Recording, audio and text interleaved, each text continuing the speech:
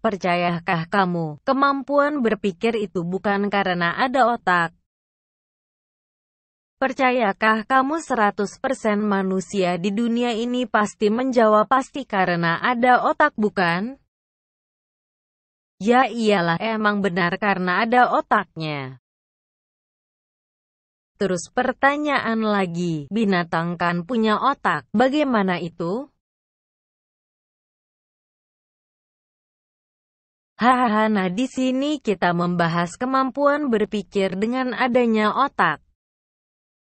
Jika tidak ada otak tidak akan ada kemampuan untuk berpikir, bukan?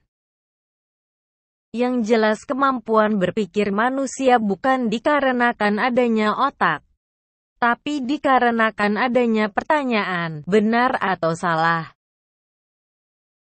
Ya jelas benar, coba kalau tidak ada pertanyaan pasti kita tidak akan berpikir, bukan?